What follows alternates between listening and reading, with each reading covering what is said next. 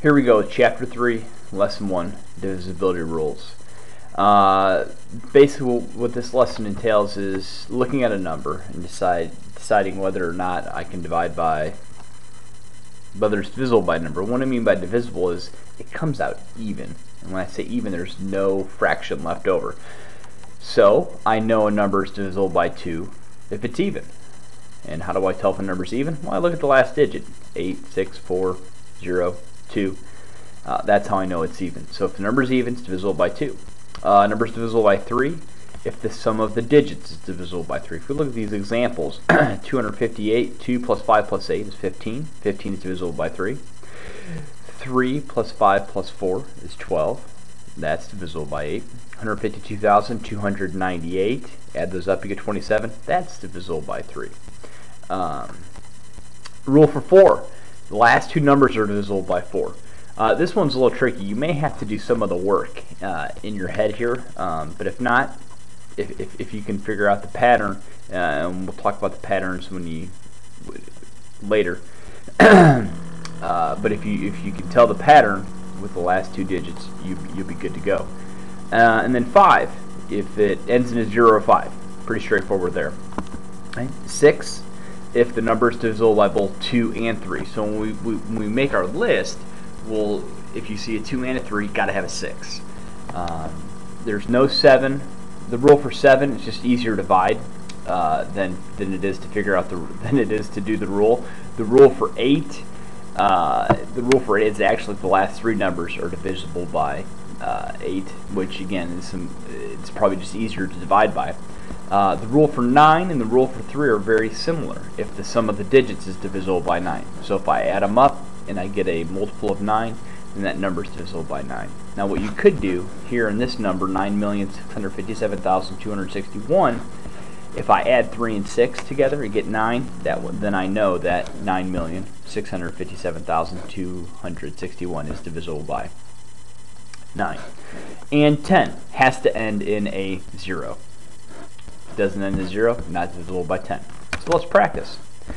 Now, when I do this, always start with, where's the best place to start? The beginning.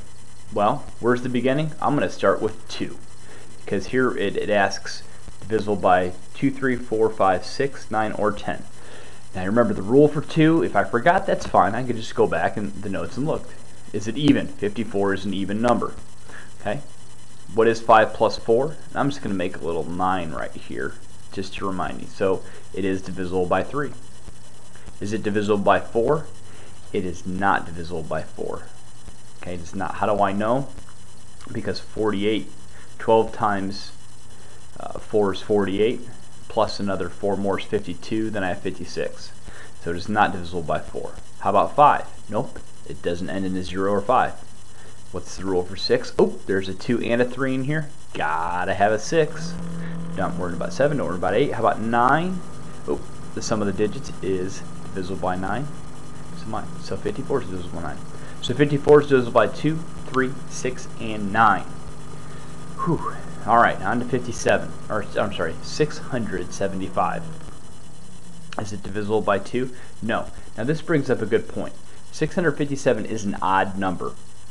So do I? So when I find an odd number, I don't need to mess with 2, 4, 6, or 10. Why? Because when I count by even numbers, I only, only, only, only, only ever say even numbers. Yes, you can take a minute and count in your head by 2s and 4s and 6s. You don't say any odd numbers. Okay. So, 3. Well, I got to add them up. 6 plus 7 is 13. 13 and 5 is 18. I'm going to write it right up here just so I remember. So it is divisible by 3.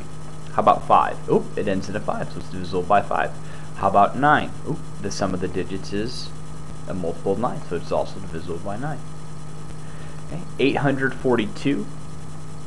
Well, I know it's divisible by 2 because it's an even number. I've got to add them up to see if it's divisible by 3, so that's 12, 13, 14. 14 is not divisible by 3. How about 4? Nope, because the last two numbers aren't divisible by 4. 5? Nope. 6? Nope, because there's not a 2 and a 3. 9? No. 10? No.